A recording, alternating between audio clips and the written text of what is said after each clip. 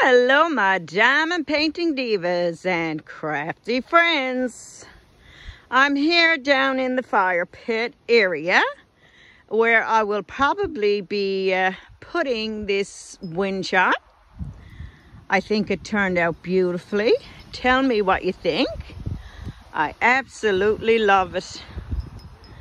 It's kind of windy here today and it has been raining, but uh, I think it looks gorgeous, guys. You tell me what you think. Love it. And you see right here, sorry, I will, all you got to do is hold those like that and you can straighten them up. I think it come out absolutely gorgeous and I will have a tutorial for you down below. And it's a tutorial from Liz. She did one so I'm going to link her. She is who I followed. She's a, a fabulous YouTuber.